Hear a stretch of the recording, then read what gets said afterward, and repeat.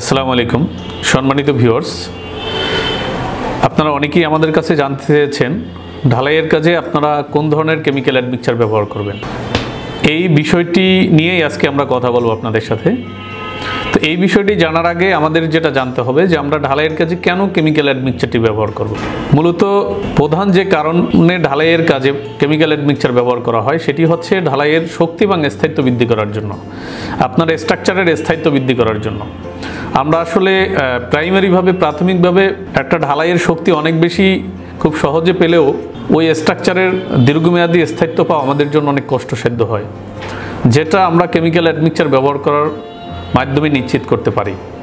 আর এক্ষেত্রে আমাদের ঢালাইয়ের জন্য যে কেমিক্যাল অ্যাডমিক্সারটি ব্যবহার করতে হবে, সেটি হচ্ছে water reducing and plasticising admixture এই অ্যাডমিক্সারটি আপনি ব্যবহার করলে আপনার ঢালাইয়ে পানির চাহিদাটা কম প্রয়োজন হবে, পানির চাহিদাটা হ্রাস পাবে।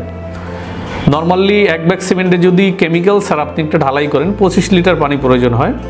আপনি যখন কেমিক্যাল অ্যাডমিক্সারটি ব্যবহার করবেন, সেক্ষেত্রে এখান থেকে পনেরো থেকে পঁচিশ পার্সেন্ট পর্যন্ত পানির ডিমান্ডটা কম প্রয়োজন হবে, পানিটা কম প্রয়োজন হবে।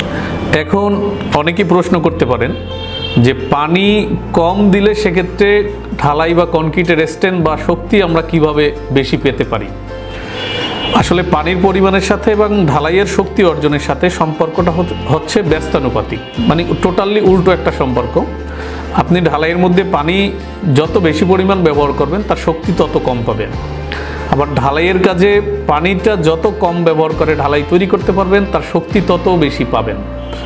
এখন আমরা চাইলেই কিন্তু পানির পরিমাণটা আসলে কম ব্যবহার করতে পারি না। কারণ আমাদের ঢালাই এটা ব্যবহার উপযোগী না হলে আমরা আসলে এটা কাজে ব্যবহার করতে পারি না। অবশ্যই ঢালাইটাকে ব্যবহার উপযোগী হতে হবে, এর কার্যোপযোগিতা ঠিক রাখতে হবে। কেমিক্যাল অ্যাডমিক্সার যেটা করে, ওয়াটার রিডিউসিং অ্যাডমিক্সার যেটা করে, আপনার ঢালাইয়ে পানির চাহিদা হ্রাস করে, ঢালাইয়ের ওয়ার্কাবিলিটি ঠিক রাখে কার্যোপযোগিতা ঠিক রাখে, ঢালাইটা নরম রাখে। যে কারণে এর স্থায়িত্ব স্ট্রেংথ বা শক্তিও অনেক বেশি হয় এবং স্থায়িত্ব সাথে সাথে অনেক বেশি হয়। তো এখন পানি কম ব্যবহার করা হলে কীভাবে আমাদের শক্তিটা আসলে বেশি হয়, এইটা একটু আমরা আপনাদেরকে জানিয়ে নিই। এটি হচ্ছে, আমরা যখন পানিটা ব্যবহার করি কনক্রিটের মধ্যে, কিছু পরিমাণ এক্সেসিভ ওয়াটার আছে, পানি আছে, যেটা আপনার ঢালাই, জমাট বাঁধার আগ পর্যন্ত ঢালাইয়ের মধ্যে একটা জায়গা দখল করে থাকে। যখন ঢালাইটা জমাট বাঁধে বা শুকিয়ে যায়, তখন ওই জায়গাগুলো যে জায়গাতে পানি ছিল, ওই জায়গাগুলোতে ফাঁকা জায়গা তৈরি হয়। ভয়েডের তৈরি হয়, পরসিটি তৈরি হয়। এখন আমরা জানি যে কোনো বস্তুর মধ্যে ফাঁকা অংশের পরিমাণ যত বেশি, পরসিটি যত বেশি, তার শক্তি নেওয়ার ক্যাপাসিটি তত লোড নেওয়ার ক্যাপাসিটি তত কম। যে বস্তুর ভিতরে ভয়েড অংশ কম থাকে, ফাঁকা জায়গা কম থাকে, তার লোড নেওয়ার ক্যাপাসিটিও অনেক বেশি থাকে। ঠিক এই কারণেই আমরা যখন কেমিক্যাল ওয়াটার রিডিউসিং কেমিক্যাল অ্যাডমিক্সারটি ব্যবহার করে আমাদের ঢালাইটা তৈরি করি, তখন ঢালাই পানির চাহিদাটা কম প্রয়োজন হয়, সাথে সাথে ঢালাইয়ের ভিতরে ফাঁকা জায়গার পরিমাণটা কম থাকে এবং সলিড অংশটা বেশি থাকে ঢালাইয়ে। ঢালাইয়ের ইউনিট ওয়েটও দেখবেন যে আপনার অনেক বেশি পাবেন। ঠিক এই কারণেই ঢালাইয়ের আমাদের ওয়াটার রিডিউসিং অ্যাডমিক্সার ব্যবহার করলে আমরা ঢালাইয়ের শক্তি এবং স্থায়িত্ব বেশি পেয়ে থাকি। আপনি যখন ওয়াটার রিডিউসিং অ্যাডমিক্সারটি ব্যবহার করবেন, বাংলাদেশের যে কোনো কোম্পানিরই হোক, অবশ্যই আপনাকে দেখে নিতে হবে যে আসলে আপনি যে প্রোডাক্টটি নিয়েছেন, এটি আসলেই আপনার ওয়াটার রিডিউস করে কিনা, আপনার ঢালাইয়ে পানির চাহিদাটা কম লাগতেছে কিনা বা পানির পরিমাণটা কম লাগতেছে কিনা, এটা আপনি ঢালাই তৈরি করলে খুব সহজেই বুঝতে পারবেন।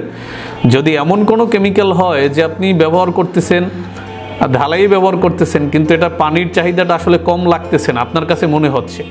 সেক্ষেত্রে আপনার ধরে নিতে হবে ওই অ্যাডমিক্সারে আসলে কোনো ধরনের কোনো কাজ করতেছে না। অ্যাডমিক্সারে কাজটা আপনি তখনই বুঝতে পারবেন যখন দেখবেন যে আপনি নর্মালি যে ঢালাইটা তৈরি করছেন, তার থেকে অ্যাডমিক্সার দিয়ে যখন করতেছেন তখন পানির পরিমাণটা কম প্রয়োজন হচ্ছে। তখনই আপনাকে বুঝতে হবে যে আসলে আপনার অ্যাডমিক্সারে কাজ করতেছে। বাংলাদেশে আসলে অনেক ধরনের অ্যাডমিক্সার আমরা দেখি, এমন অনেক অ্যাডমিক্সার আছে যেটা ওয়ান পার্সেন্ট ওয়াটার রিডিউসও করে না। তারপরও এটা আসলে আমাদের দেশে ব্যবহার হচ্ছে। যেটা আপনারা দেখে শুনে অবশ্যই আপনারা ক্রয় করবেন বা যারা জানে আপনার যে, যিনি আপনার ইঞ্জিনিয়ার থাকবেন, তার সাথে পরপর কনসাল্ট করে তারপরে আপনারা প্রোডাক্টটি মার্কেট থেকে ক্রয় করবেন। আমাদের দেশে অনেককেই দেখা যায় যে আপনার সব ধরনের ঢালাইয়ের জন্য ওয়াটার প্রুফিং কেমিক্যালটা অনেকে ব্যবহার করে। আমাদের সব জায়গায় কিন্তু আসলে আমার সব স্থানেই কিন্তু ওয়াটার প্রুফিং কেমিক্যালটা দরকার নাই। যেমন আপনি একটা কলম ঢালাই দিচ্ছেন, আমি একটা স্ল্যাব ঢালাই দিচ্ছি, আমার একবারে টপ স্ল্যাব হলে সেখানে আমাদের ওয়াটার প্রুফিং কেমিক্যালটা দরকার আছে। কিন্তু একটা বিল্ডিংয়ের মাঝামাঝি অবস্থার যে স্ল্যাবগুলো থাকে, মধ্যবর্তী যে স্ল্যাবগুলো থাকে, এখানে তো আসলে কোনোভাবে পানি আসার কোনো সম্ভাবনা থাকে না। যে কারণে আমি মনে করি এইসব জায়গায় আপনার ওয়াটার প্রুফিং কেমিক্যাল ব্যবহার করার কোনো প্রয়োজনই নাই। এখানে আপনার যেটা করতে হবে, সেখানে আপনার ওয়াটার রিডিউসিং অ্যাডমিক্সারটা ব্যবহার করতে হবে কনক্রিটের স্ট্রেংথ বাড়ানোর জন্য বিল্ডিংয়ের স্থায়িত্ব বাড়ানোর জন্য। তো যাই হোক, আসলে আপনারা যেই যেখান থেকে ভিডিওটি দেখতেছেন, আপনাদের সকলের কাছেই অনুরোধ থাকবে, আপনারা যখনই একটি প্রোডাক্ট মার্কেট থেকে ক্রয় করবেন এটা অবশ্যই যাচাই করে তারপরে প্রোডাক্ট ক্রয় করবেন অথবা আপনি একটা স্যাম্পল নিয়ে দেখতে পারেন যে আসলে এটি আপনার ঢালাইয়ে যে আমি যে কথাটি বলেছি যে আপনি এই কেমিক্যালটি ব্যবহার করলে তার পানির চাহিদাটা কম হবে ঢালাই এটি আসলেই হচ্ছে কিনা? এটি নিশ্চিত হয় তারপরে ব্যবহার করবেন। তো সবাই ভালো থাকবেন, সুস্থ থাকবেন, আবারও দেখা হবে নতুন একটি টপিকস নিয়ে। আল্লাহ হাফেজ।